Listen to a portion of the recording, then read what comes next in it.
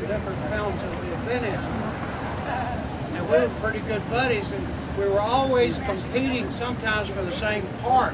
And he would get it every time. He would get it. Because He he, would get it. he, he taught he taught acting, and he should have took from him because he teaches kids.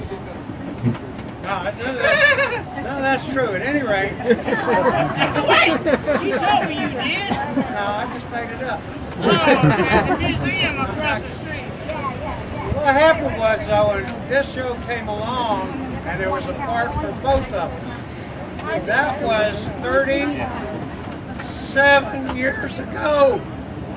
And y'all have kept it alive for all these years. We've had a lot of birthdays since then. Y'all, y'all are what it's all about. Thank you for having us, for keeping up with us all this time, for keeping us going, and thanks for coming by today.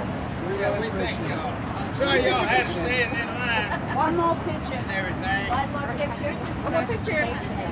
There you go. Where's this window? All right.